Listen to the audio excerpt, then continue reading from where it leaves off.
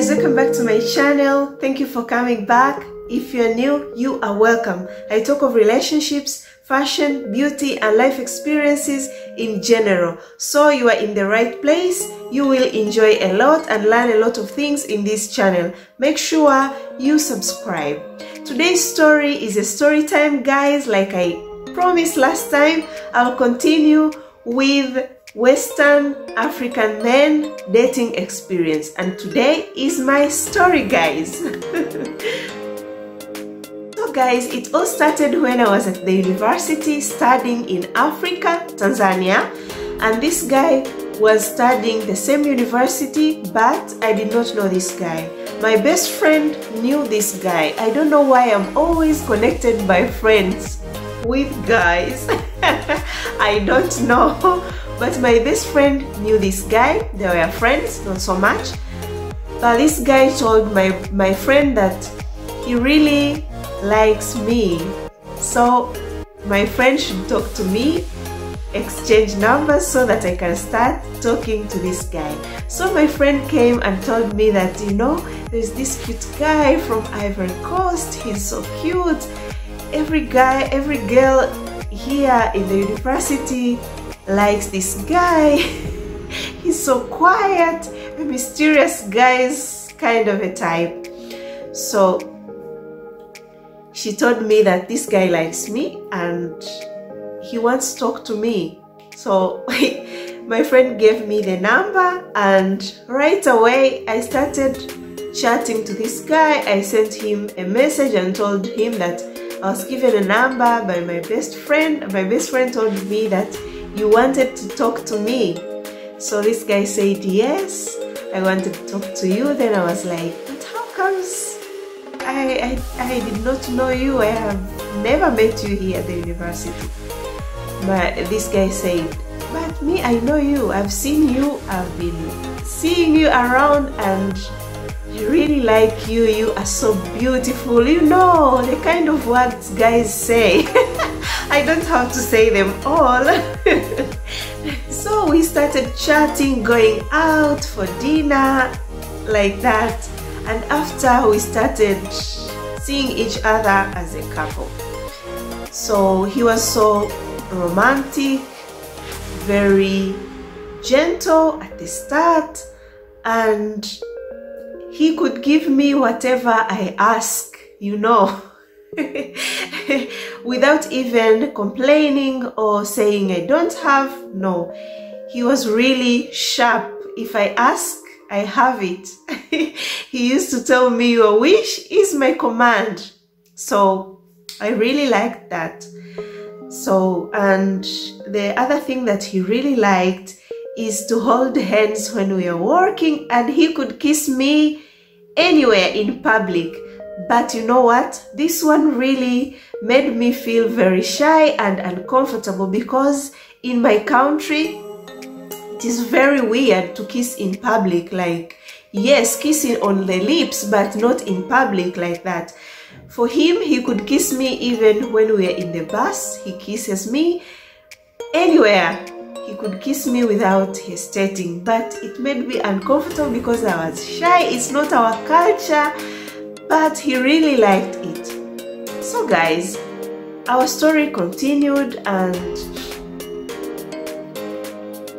after like five months, this guy started changing a little bit. I started seeing his real behavior.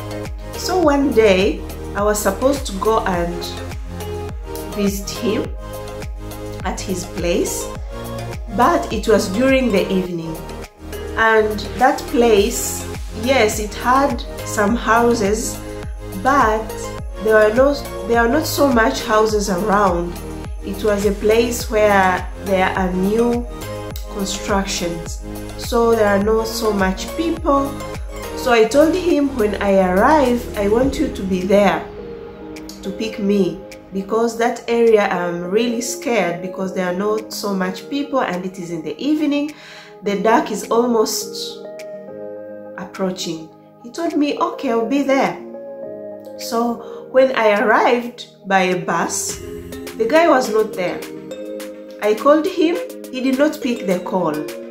Yes, I knew where he was living, but I had I had expected him to be there, and he used to live with his brother and the wife. So I could not just go to the house and they had the security man, all the questions. I did not want all that. I just wanted him to be there so that we can go together. So guys, I really got angry, started to get scared and waited for like 15 minutes he was not there and for sure I really hated this not even from a boyfriend even from a friend keeping me waiting for 15 minutes or 30 minutes I did not like that because when I say I am coming I really come when I say I'll be here I am really there at the exact time we agreed so it really made me very angry I decided to go to where he lived. I found the security man there and talked to him. He allowed me in because he knew me. So I went straight inside and I found him on the computer. I told him that why were you, were you not there where we agreed to meet? He told me ah, I was busy. Why, did, why didn't you take the call? He told me I did not see the call. I was really angry. I told him I think I should go back to where I'm coming from because maybe you are not ready to receive me. But I was really surprised. Why didn't he come to the place we agreed? It really kept me thinking, you know, like, was he having someone else at the house or what was going on? So he said, I am sorry, please, it won't happen again but there was no logic. But I accepted and forgave him. So I stayed, then that one passed. So this guy started controlling me, guys. If he calls and it takes like five minutes not taking the call or two minutes, he complains a lot like, What were you doing? Why were you talking long to, to take the call? complains, complains, complains. Or if I don't pick a call by a mistake, or I am working, or I am having something else doing and pick later, he complains the whole week, guys. You can talk, say sorry all the time about it. He used to repeat the same thing every time. Like it really disturbed me. And I told him that I don't like this behavior but he continued doing it. You talk of something, always he repeats it. So he used to do that. All the time, if something happens, even if it is very little, very small, like you talk about it, you say, I am sorry. He keeps on repeating the same thing. All the time you do something, he repeats the same thing that happened. So it continued like that. So one day I went out with my friend, I was going to the market. When I arrived at the market, this guy called me and I picked the call. Then he was like, Where are you? I told him I am out. With who? I told him, With my friend. Can I see your friend? I want to see her and talk to her. I was like, But why? I am out. You don't trust me? No, I don't trust you. You Tanzanian girls are so clever. I was really angry but I did not want to argue in front of my friend. I told him, okay, my friend is here, so I gave my friend the phone and my friend talked to him. Then when he finished, he said, okay, when you get home, please let me know. I said, okay. So when he hung up, my friend was like, but this guy is so controlling. He does not trust you. He, she asked me a lot of questions and she was like, Hey, I'm really sorry for you because this is not a good situation. I told her, I don't know what to do. I don't know. I really don't know. But he's like that. So we continue with the shopping that I, I was going to do and returned home. So when I reached home, I called this guy. I was angry and I told him that, why are you controlling me like that? You don't trust me. Why? I don't trust you because you Tanzanian girls are so clever. I told him, We are so clever. So if we are clever, why did you start a relationship with a Tanzanian girl? You could have gone for those who are not clever, whom you trust. I cannot be with a person who I don't trust. So if this continues, I cannot handle it. Then he was like, Ah, for you, I don't know. I don't know what you want. I don't know. I don't really trust Tanzanian girls. Then he hung up. He hung up. I I was really sad, you know, when you you start a relationship thinking you'll be happy, then you start to be sad. All the time is solving problems. All the time is solving the stupid mistakes because they are very few, very minor, but all the time keeping on repeating, talking about them. I got really tired. So, one day it was a party in Tanzania when you want to get married as a woman, there is a party that your friends, the female friends, makes a party for you, gives you gifts and all that. So there was this party of my friend I went to. But in that party, there were so ma many people, so much people, but the seats were few. So I was lucky I got a seat and I sat. And I had told my boyfriend that I am going to that kitchen party, they call it kitchen party. So I got a seat and sat. After like 20 minutes, my boyfriend started calling when he called, I could not pick up because when you're in the party, there are music, people are enjoying. There was no way I was going to listen to what he was going to tell me. So I did not pick the call. He kept on calling, he kept on calling. And another thing, I could not stand to go out because when I go out and return, I won't find a seat. So what I did, I wrote a message to him that I am sorry. When the party is over, I will call you so that we can talk. Right now, I cannot talk. There is too much noise. You know, guys, he sent a lot of message, like 30 messages within 10 minutes. Writing, writing, complaining, complaining, calling me names I really got angry because when something calls you names that you are not, it really irritates a lot. So I stayed in the party, but I wasn't happy and I asked myself a lot of questions that where is this relationship going to? Where? So the party ended and I called him. He did not pick the call, guys. He did not. He was online but he did not pick my call.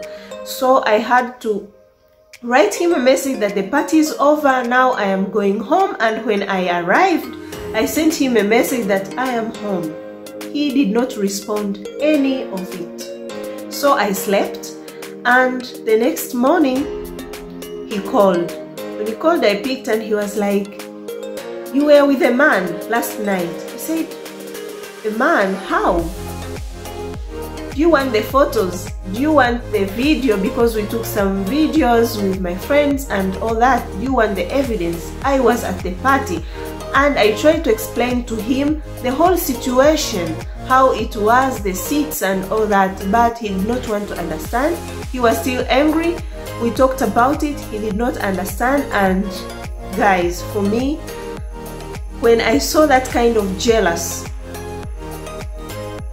at that time, I realized that the relationship isn't going nowhere because if I continue tolerating him, then if it goes far and if he marries me, then I will live a sad life.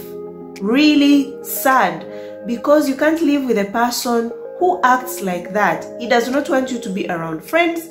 When you go out, he complains. He wants to control every move that you make. I saw it was going to be a hell life. So I told him that, you know what? I really love you so much, yes. But I think it should be the end of me and you. I cannot handle it anymore. then he was like why why why can't you handle it what is the problem how do you want me to handle you how do you want me to take you? You want me to handle you like an egg so that you cannot break? I cannot do that. I told him if you cannot do that i did not tell you to handle me like an egg. No. But this kind of jealousy of you i cannot handle it. It's over. He complained he complained and he did not believe it guys. Because he started telling me i am sorry. I will change i will try to change. Please i am sorry i told him. For me as i see things you cannot change. This is your behavior. Please it's over between me and you.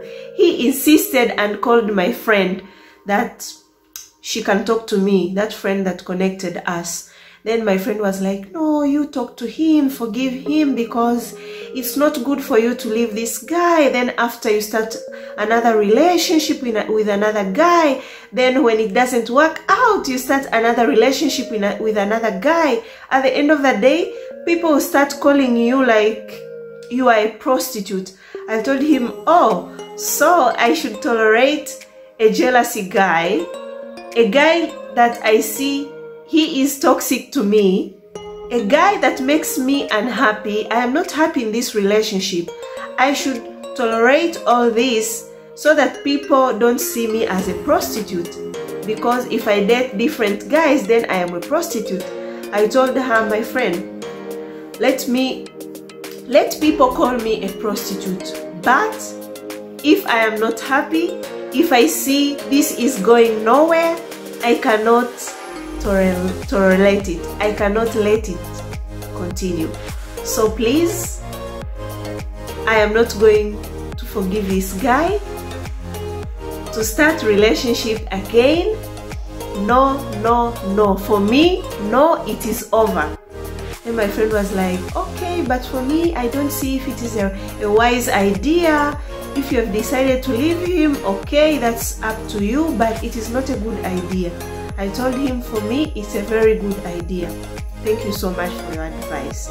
So guys, it ended like that and everyone went his I went his I went my own way and he went his own way. Yes, sometimes he used to write to me uh, again trying to convince me to return to him but I refused and that's it guys that is my experience with a western guy. I hope you enjoyed this story.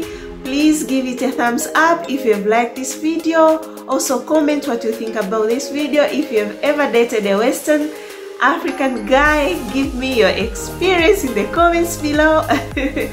Also don't forget to watch my other videos subscribe to share with your friends your family. I love you so much. Ciao ciao